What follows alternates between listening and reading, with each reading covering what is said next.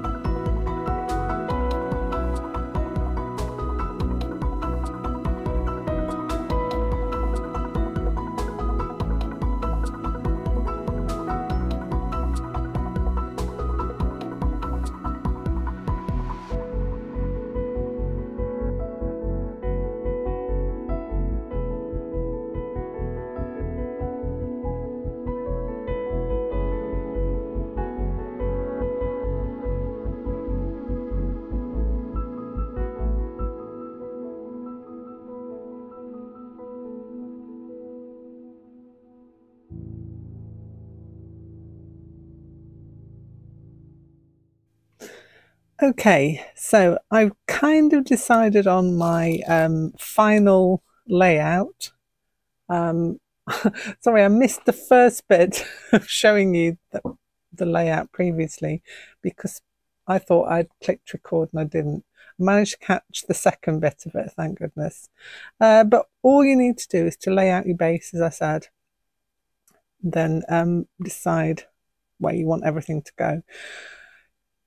Um, so yeah, I'm happy with this. So the next stage for me now is if I were you, I'd take a picture with your camera uh, or your phone or whatever so that you've got an absolute idea of where everything goes. For me, I'm using my phone at the minute to film. And so what I'm going to do is try and get the dreaded pins out, I think. And then I am going to use my tacking thread that I used for the edges and I'm just going to tack everything down. So give me a second, I grab my pins, or do I just want to just go in and tack it? Ooh, ooh, decisions. I think I'm just going to go in straight away and tack it. I hate pen. I hate pins so much. I think I'm just going to wing it and, and tack it down as is. So I'm going to get a needle and thread. I'll be back in one second. So I've got this bright red tacking thread. Now, Um, all I am going to do, let me start up at one corner. I suggest that you maybe, sorry for the rattling sound, it's things at the side of me on the desk. I suggest that you maybe um, pin these first. I am I'm not following my own rule because I, I just want to wing it and I've got room to wing it, so I'm going to go for it. And you're not doing anything neat with this tacking. You are literally just making sure that everything you have is going to stay in place. So I'm doing huge tacking stitches um, the tacking stitches I can remove afterwards if they annoy me, but more often than not, they will disappear into the uh, background stitching. So if they don't annoy me, then I, uh, I will literally just let them be. If I find they're annoying me, then I'll take them out. Um, that's that's a rule, rule of thumb I go by. So if it's annoying, it goes. you can apply that to everything in your life, I think. if it's annoying, it, it will go. Um, yeah, so let's, let's stitch this down. Um, I've not got too many blingy bits on here at the minute. Um, that's not concerning me because I will add those in in another in another stitchy session. I think my concern at the minute is to get all of this stitched, stitched tacked down, should I say. And um, yeah, just make sure that nothing's going to drop off when I start to stitch. So you don't have to be precious with this at all, literally. You're just trying to keep it in place and try and get it from different angles. Oh, the lengths I go to not to use pens. it might come back to bite me in the bottom at some point, but uh, um, I think it's going places at the minute, so we're all good. So you can see I am not being at all precious. I am literally just huge, great big whackatin stitches just to get these pieces held on to the base of the outer fabric and for it not to all fall apart. I'm coming to the end of my thread there. So I'll do two on that bit and then and then I'm going to rethread. I'm not even going to tie a knot. I'm just going to leave it like that. I'm being very reckless this morning, aren't I? Must be the moon. I don't know. I blame it on the moon. I seem to have lost my needle now as well, which is a kind of a worry. Uh, but I will relocate it and carry on. So you saw how I did that, literally just tacking big, huge stitches down. If you want to be very safe, go and use your pins. And if you're not averse to them like I am, uh, yes, I suggest you pin them down or if you're feeling reckless like me, just go straight in with the stitching. I would, if you're going to pin them down, you're going to do a two-fold thing. So you're going to pin it and then tack it down. That's what I would do. Otherwise, you're just going to be stabbing yourself with pins the whole way through this, which is not very nice. It really isn't. You don't want to be a human pincushion. I certainly don't. Um, so you'd be reckless like me and just go in with the tacking, or you can pin it and tack it that is your next step. So do that and then come back to me because I will have finished, magically finished this by the time you've done. Okay, I'm back. I'm all tacked. I've given it a shake to make sure nothing's going to fall off, like I do with myself every morning when I get out of bed. Um, so yeah, nothing fell off, so we're all good. Um, don't worry too much. You know, it's one of those things you can have so much fun setting out all your fabrics wherever you want them. And if something happens, you know, and bits fall off and you, you can't remember where they go, don't worry. Just go back in and have the fun again of resetting them. I, I find that is one of the most fun parts is just deciding where you want everything to go. Anyway, we're all tacked. I've got all my limbs, so we're all good. And um, threads. Threads is a thing, and I've kind of picked out some colours. I'm not going to use all of these, by the way. And by no means do you need all of these either. You don't need loads and loads of threads. Just a couple of threads will get you through the whole of this. It's nice if you've got a few more different colours to choose from. I'm lucky that I've got quite a few in my stash. So I've picked out ones that will go with all the fabrics that I've got here. Um, I may also throw in a gold at some point. I've also got this boy, which is one of the diamonds. I bought this the other day because I kind of liked the colour. Um, and I thought that's an the magpie in me likes the metallics. This is the best metallic that I've used. I have used other metallics and they're not easy. I'm not going to lie to you. They're not easy to use because they have a tendency to shed and thread and break. Um, my suggestions when using metallics are don't put too much on your needle. You might be cursing me and saying, oh, that means I've got to change it every two minutes. Rather that than it get tangled and break. And as you do each pass through the fabric, this kind of weakens it a little bit. It's the same with every thread.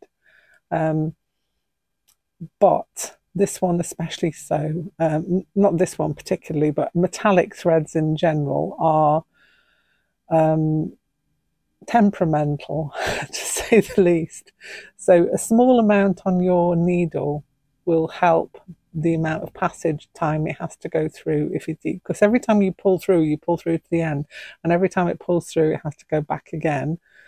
So you want to put as least amount of strain on your metallic thread as as possible is what I would say in order to help you get over that.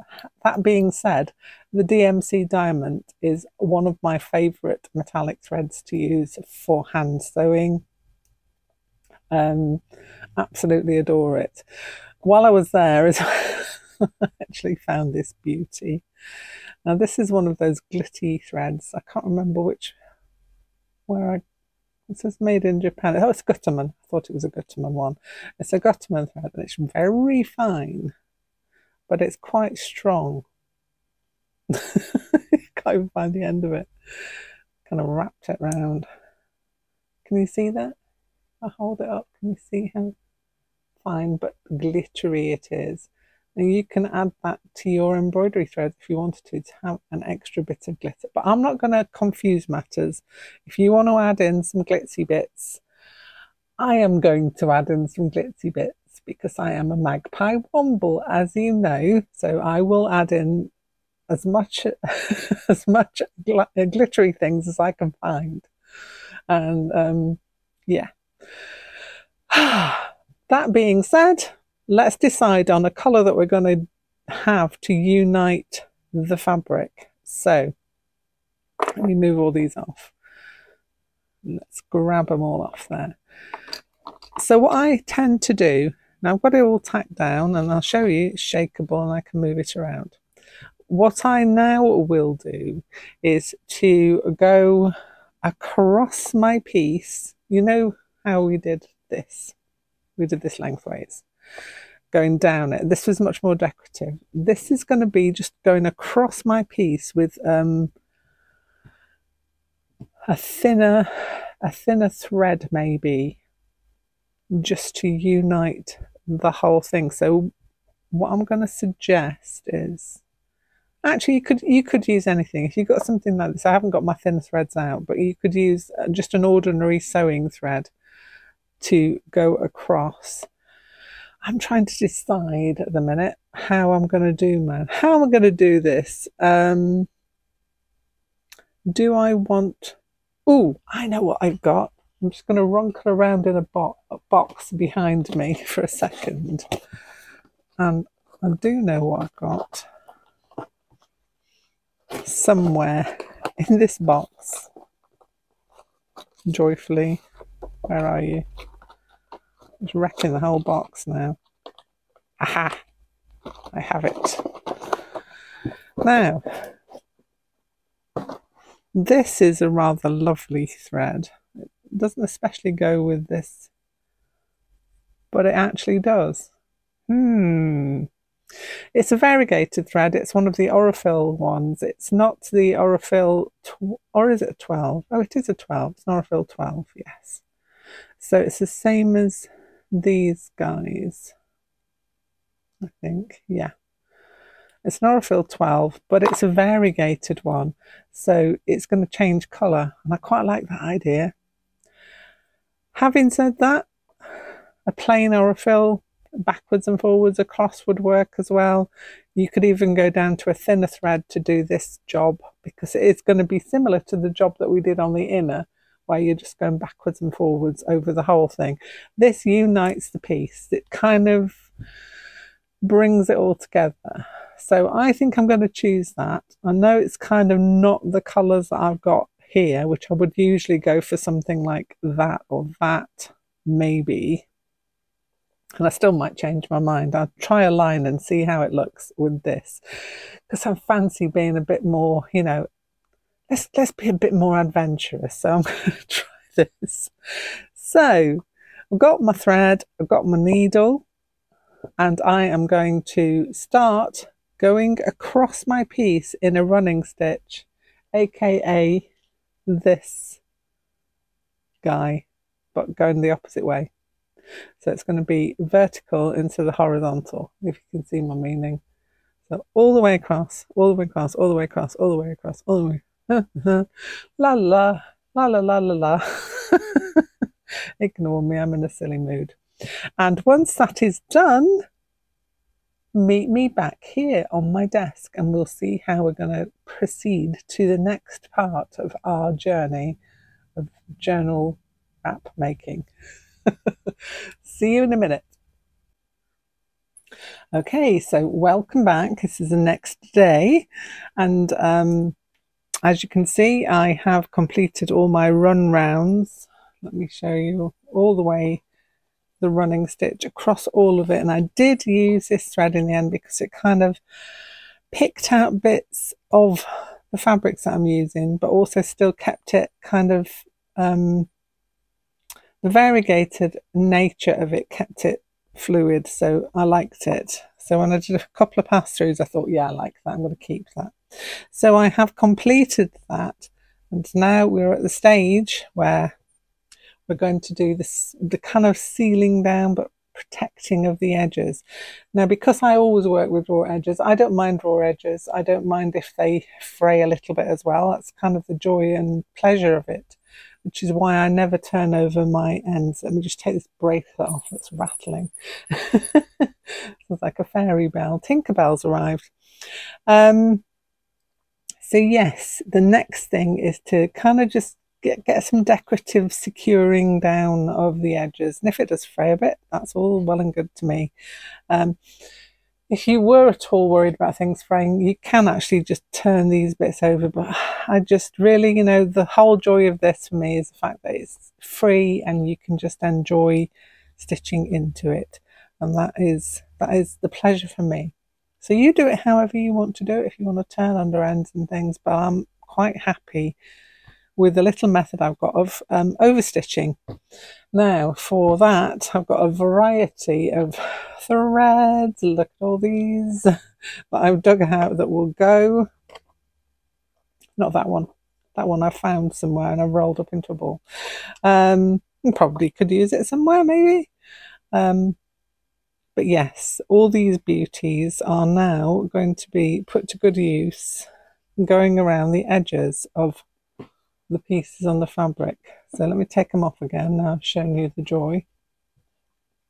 I brought you in closer so that I can show you this one here. So for this one I took a contrasting thread. It's, it's, it's kind of like not matching the things in there, but it contrasts in well and it kind of highlights parts if you do that. If you want to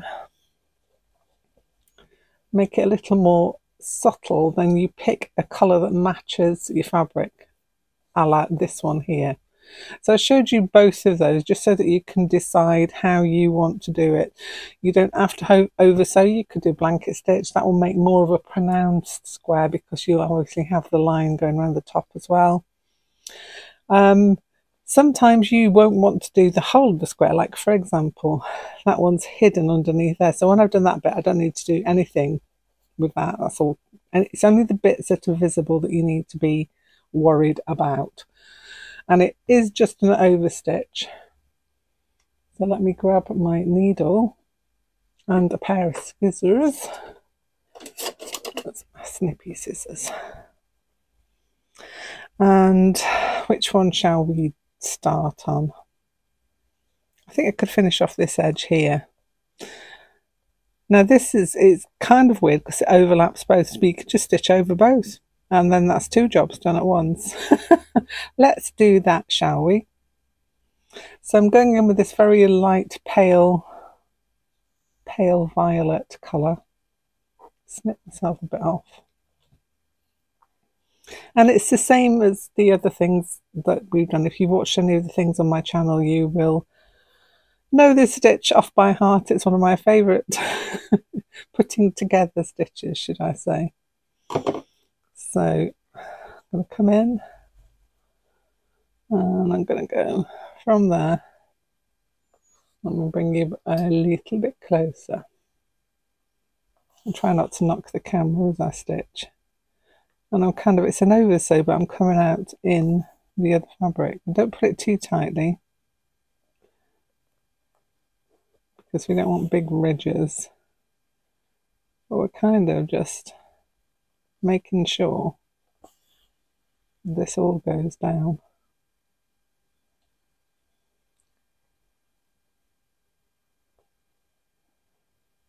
And you can put them as tightly together as you like or as far apart as you like. I kind of put mine fairly close. I mean, you could do something that kind of resembles a satin stitch if you wanted to. Um, but for me, I'm quite happy. I like the lines, the mark making, if you would, that this leaves on my uh, on my piece. It's another mark.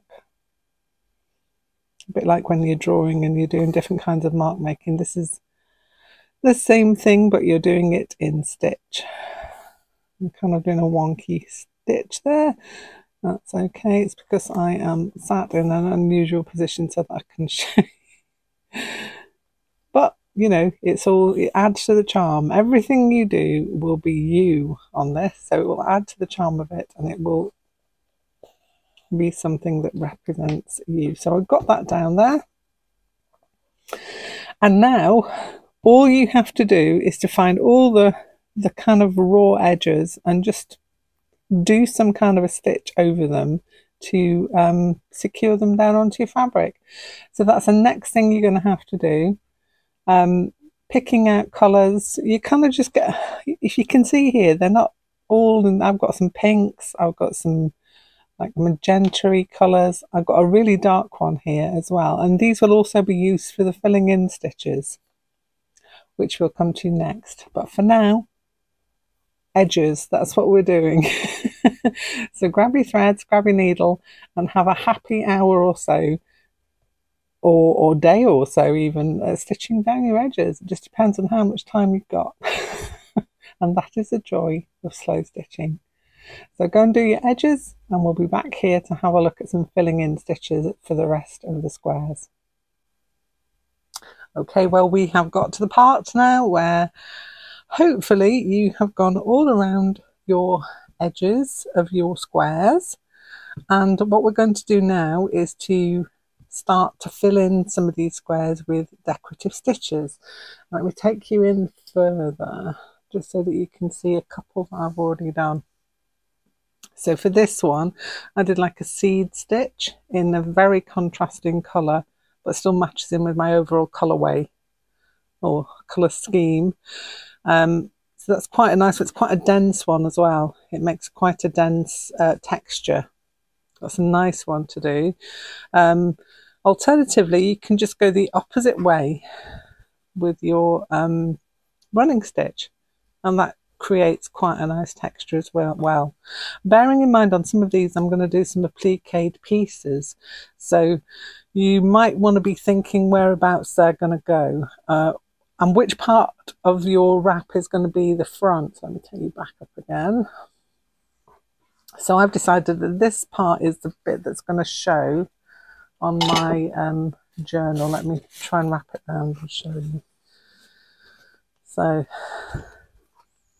that's how it's going to lie like that. So this is going to be the front and this is going to be the back and it's quite interesting to find out where those areas are going to lie on your piece so that you can decide where you want to place any specific uh, bits and pieces that you might want to add in as well as the stitching. So for mine I've dug out some some of these bits I got from the bazaar pack which kind of fit in and I'm just just trying to lie them on and see where they might look best. I'm going to play around with this for a while. Um, so now that we've got all the edges down, the next task is to fill in your squares with either bits of applique or decorative stitches. Um, you can use anything you want. The sky's the limit. Look through your embroidery books to find any stitches that you might like. There are lots and lots and lots of uh, videos on YouTube describing different kinds of stitches that you might want to use. You could use different stitches to join in the middle. You could have like a cross stitch. So for example, let me show you uh, another one that I did. So I've added little stitch stars into this one. This one's got a spiral. I do like adding spirals onto things. so that's got a little stitch spiral. On this one I did a flower, so there's a little flower going up there with a little uh, daisy stitch flower head on it, another spiral there. Told you I like spirals. We've got beads. Um, so yeah, lots of things to keep you going. Also, I've got a couple of these buttons here. They don't serve any purpose, they're just decorative. And my, my other love is this uh, glitzy fabric which I get from a company called Paper and String. So um, yeah, this is also little bits of that. You don't need too much, just little bits here and there just to add a bit of glitz. If you're a magpie womble like me. um, so I'm going to leave this bit here. I'm going to leave this section here now and you um, can go on and finish all the other little bits that you need to finish. So filling everything in, adding in bits and then when we come back for the last part of this um, journal series, we will be looking at how we finish it up. Uh, so adding in the, the, the lining, which has been sat here waiting patiently. so that's what we're going to do in the next section. So have a great time filling in the rest of your journal pieces and adding in all the little bits and pieces that you want to for your for your one. And then, yeah, that's how it goes like that. And then we'll figure out closures and how you can finish it off. Have a great day and I will see you very, very soon with more of the same. Bye for now.